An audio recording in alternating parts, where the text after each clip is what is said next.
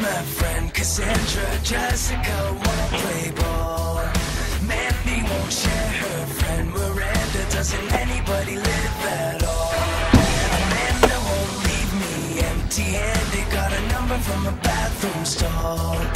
Brandy just brought way too much baggage, and that shit just gets old.